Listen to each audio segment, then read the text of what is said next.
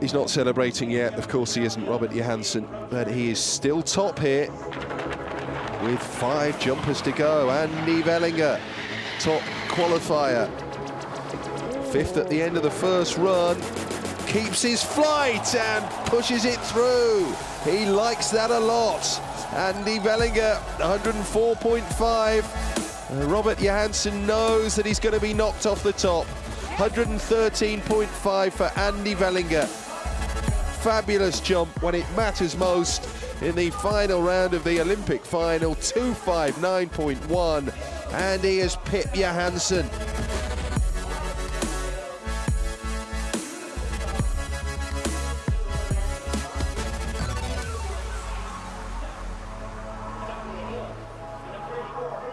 Katharina Althaus is just 21 years of age from Oberstdorf.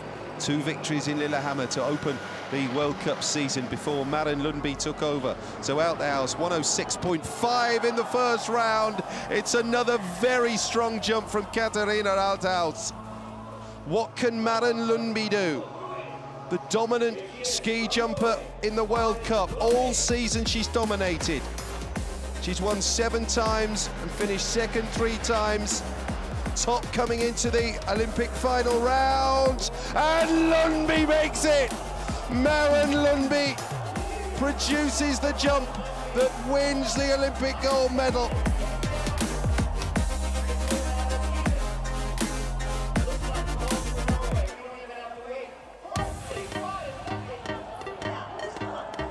Kamil Stoch, he can afford to go shorter than his 143.8 tally from the first round, just like four years ago.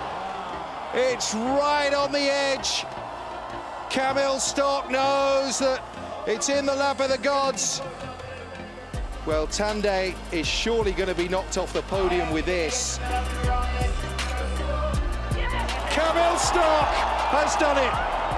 He's defended his Olympic title. Joy for Norway.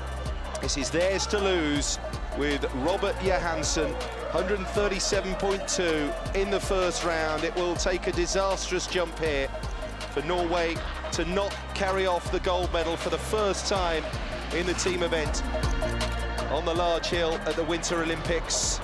Bit of movement with the arms, the distance is good enough. And Johansson has done it for Norway. What a games he's had. Every event, Robert Johansson is on the podium. Two bronzes, and now they move two steps up the podium. What success, what a games the Norwegians have had.